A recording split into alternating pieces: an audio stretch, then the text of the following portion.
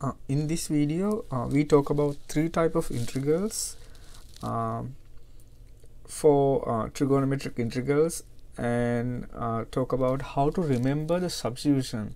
Uh, because of the various type of integrals there are a lot of different type of uh, substitution techniques which are difficult to remember but we're gonna see some kind of pattern that you can see and then use them to remember them okay so these are trig integrals so trigonometric integrals. Trigonometric integrals. I'm going to call it uh, tricks to remember. Uh, tricks to uh, remember. Okay so um, so let's go uh, one by one. Uh, so the first type actually uh, so what's going to happen? All these integrals are solved using so these substitution methods. So it's a substitution method. Uh, and then uh, all of them kind of uh, boils down to these uh, steps. So the method uh, so what are the steps so the, the first step is uh, check the condition. Check the condition. Check the condition. And then uh, the uh, second is we're gonna select the uh, the substitution. So we're gonna select a special function depending on the condition. And then we always do a separate term.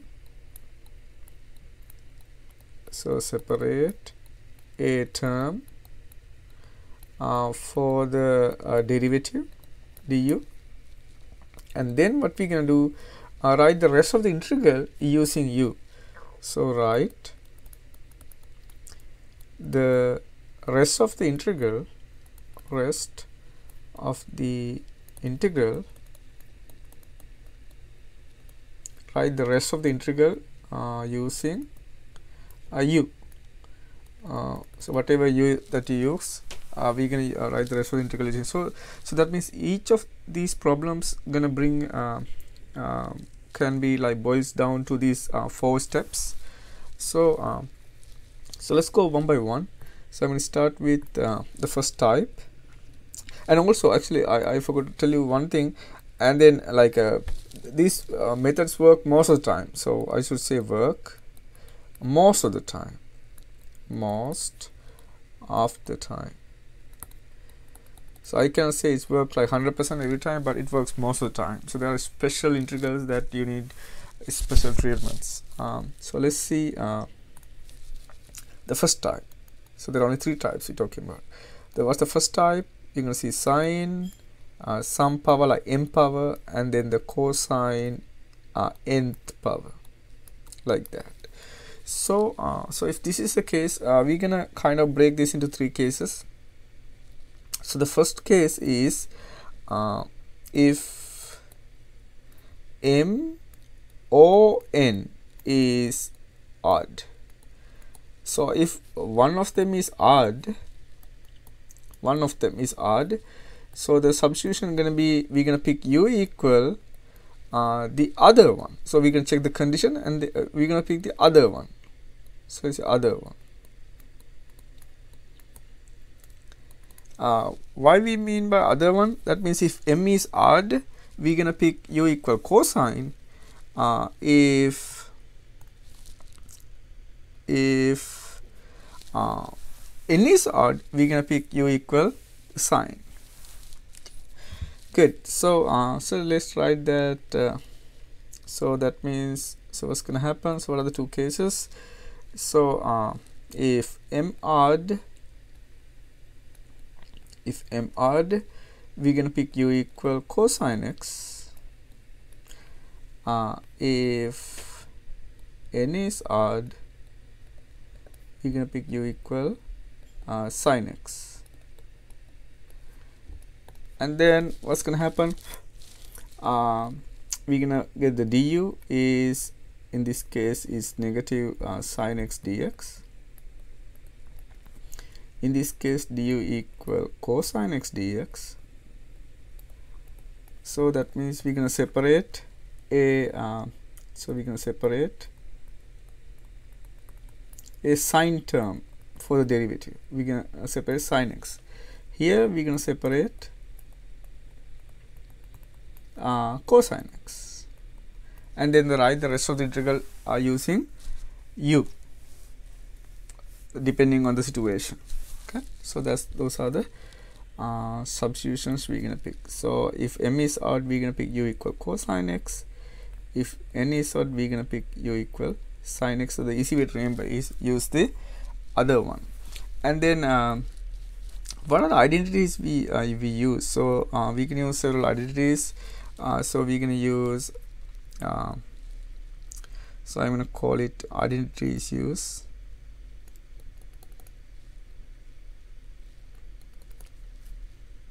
uh, use. Uh, so we can have uh, sine square theta equal 1 minus cosine square theta. And then we also use uh, cosine square theta 1 minus sine square theta in these two cases depending on what you need. A uh, that's like if m or n is odd. So if uh, if uh, both m and in uh, odd if both uh, m and n are odd. Both odd. Both of them are odd. If both of them are the odd we're gonna select uh, u as the one with the largest power. So u gonna be the one with the largest power. So one uh, with largest power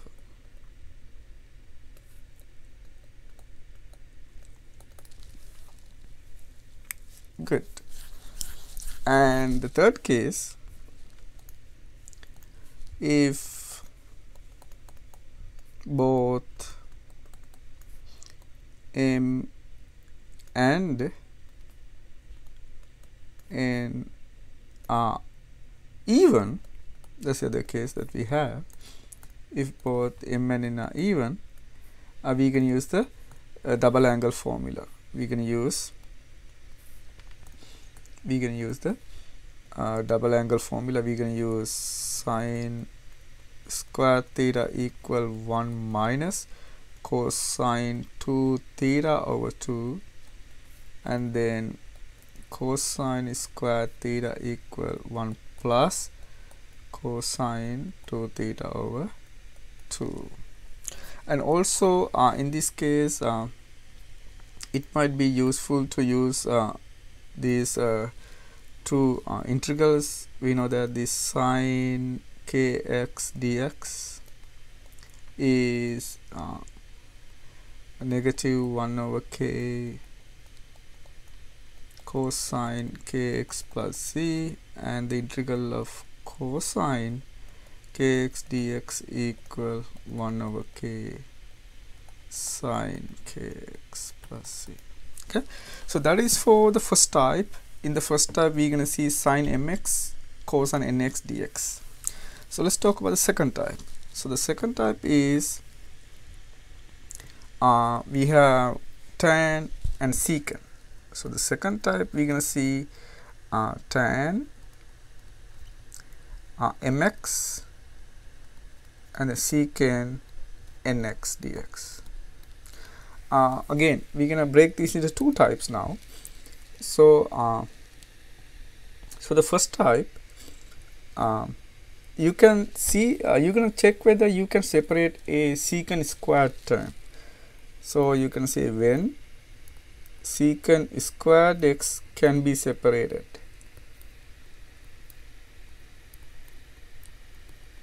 Okay if you can separate a secant squared then you're going to do uh, u equal tan x so we check the condition and then we select the substitution.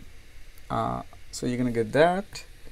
Uh, and then we know that the du equal uh, so uh, du equals secant squared x dx. That means you're going to separate uh, secant squared x for the derivative and then write the rest of the integral using tan x so write the rest of the integral rest of the integral rest of the integral uh, using uh, tan. So that's the argument. Um, so you also going to use the um, identity uh, in this case because you have write everything using tan so that means you might need to use secant squared x equal 1 plus tan squared x. Okay so that is for the uh, tan when you can separate secant squared. So let's talk about the second type. So there are only two types here. Uh, when uh, when secant x tan x when secant x tan x can be separated.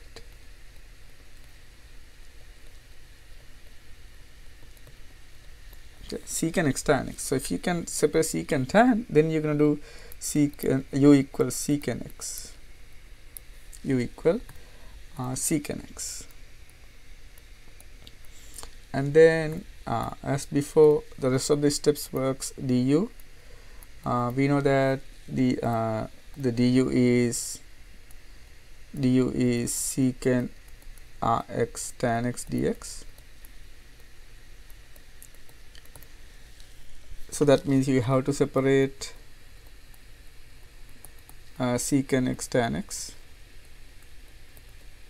for the uh, for the derivative. And then what you can do uh, you can write the rest of the integral using secant. So write write the rest of the integral right uh, the rest of the integral right the rest uh, of the uh, integral uh, using secant using secant. I just write secant. Okay. Right. The rest of the integral using secant, and uh, you're going to use the identity. So you have to use. To rewrite tan using secant. So the secant is squared x minus one. So that's the identity uh, you use for that. Now, so you can see that there are two types that you can uh, separate secant squared, then you use u equal tan x. You can separate secant x tan x, then you use u equal secant x. But there are a lot of other types of uh, situations here. So I'm going to call them my special cases. So special special cases. So what are the special cases? Uh, we showed that uh, are the integral of tan integral of tan x dx tan x dx uh, is equals to natural log uh, secant x uh, plus c. And then we had integral of uh, cotan x cotangent x which is the natural log of sine x plus c. So these are direct formulas so you can use them. And then that's for tan cotan and then for the secant for the secant uh, we had secant x dx. So that is natural log. Secant x plus tan x plus c.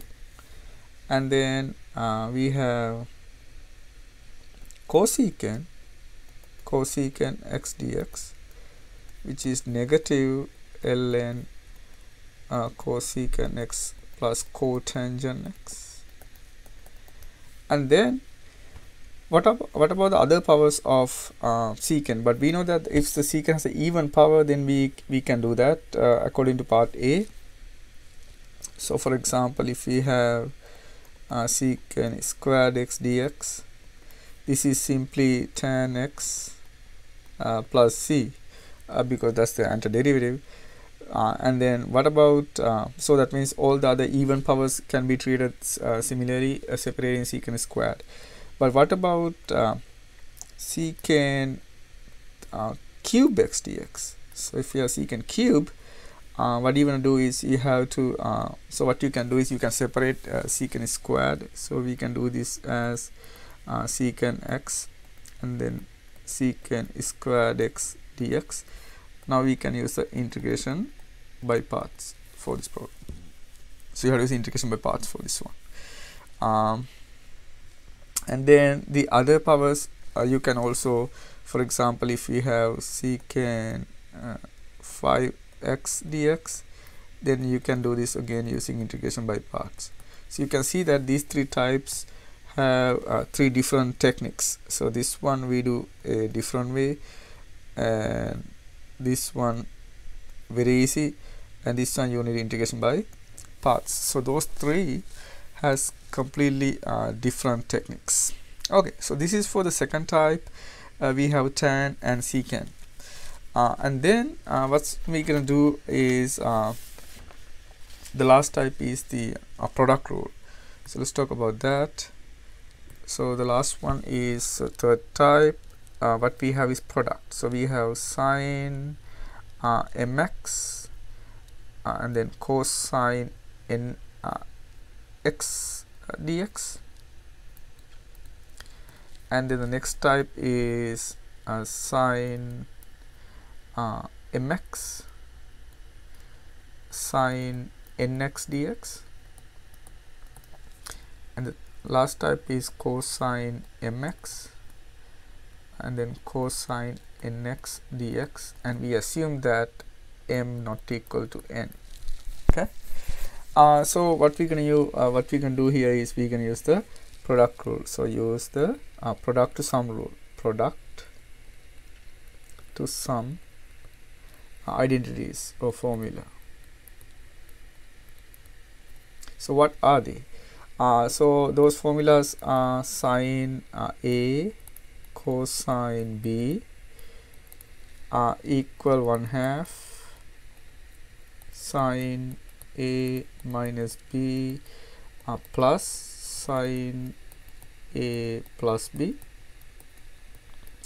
And then we have uh, sine a sine b which is 1 half uh, cosine a minus b uh, minus cosine a plus b. And then we have cosine a cosine b. And you can see that if they're the same type sine sine cosine cosine then uh, inside is all cosine. So that's easy to remember. So it's a cosine uh, a minus b plus uh, cosine a plus b so here there are a few things that you can remember.